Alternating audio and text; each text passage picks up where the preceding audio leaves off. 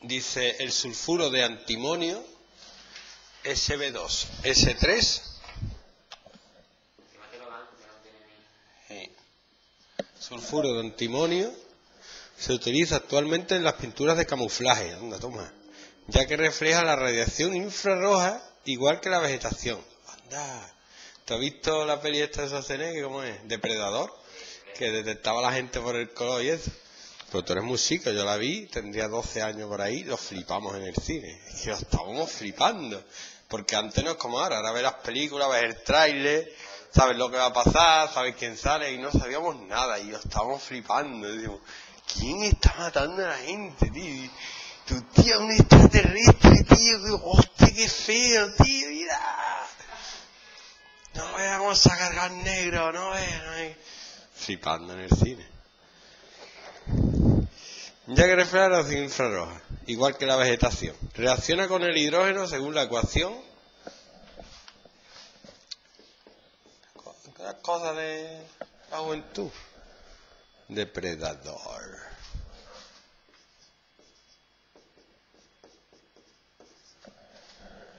Muy bien. Peso atómico, antimonio 121,7, azufre 32, hidrógeno 1. Si en la mezcla de la reacción hay 20 gramos de sulfuro de antimonio, ajusta la ecuación. ¡Ay! ¿La podemos hacer por la cuenta de la vieja no? Yo estoy viendo que sí. Porque aquí tú pones un 2 porque hay dos antimonios. Y aquí pones un 3 porque hay tres azufres. Y como aquí hay 3 por 2, 6, aquí tienes que poner un 3 también. Bueno, cuenta la vieja. Bien. Dice, ¿qué masa de antimonio elemental se forma? Pues tenemos que saber que dice que hay la mezcla de residuos 20 gramos de esto.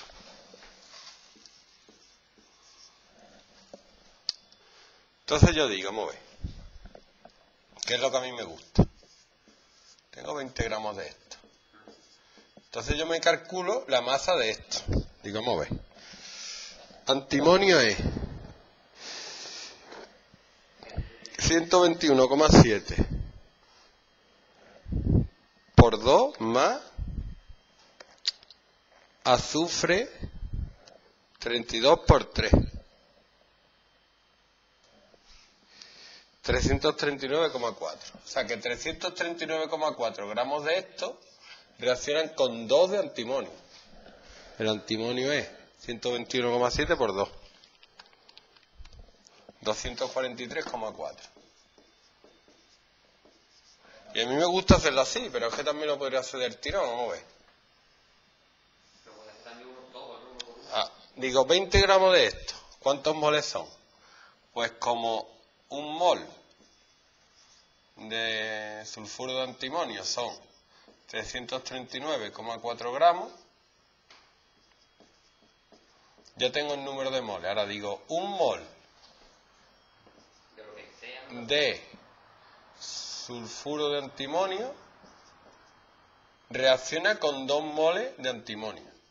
¿Vale? ¿Sí o no? Y ahora, espérate, he puesto aquí dos moles de antimonio. Y ahora pongo aquí abajo un mol de antimonio son 120 121,7 gramos. Voy con regla de tres o así, lo que pasa es que como está de moda esto, pues lo hago así. 20 por 1 por 2 por 121,7 dividido 339,4 14,34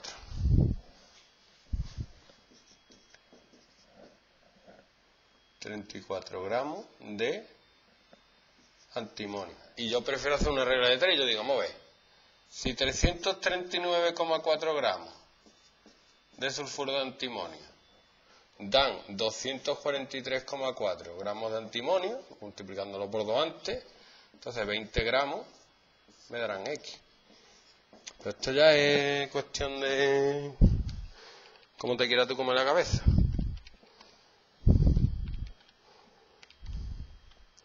...14,34, lo mismo, yo haciendo la cuenta.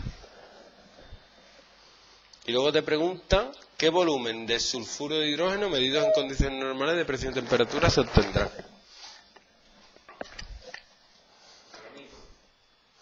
¿Borro esto? ¿Mm? Sí, da lo mismo, tiene que dar lo mismo. Vamos a ver, de 20 gramos de sulfuro de antimonio, me pregunta qué volumen de H2S se obtendrá.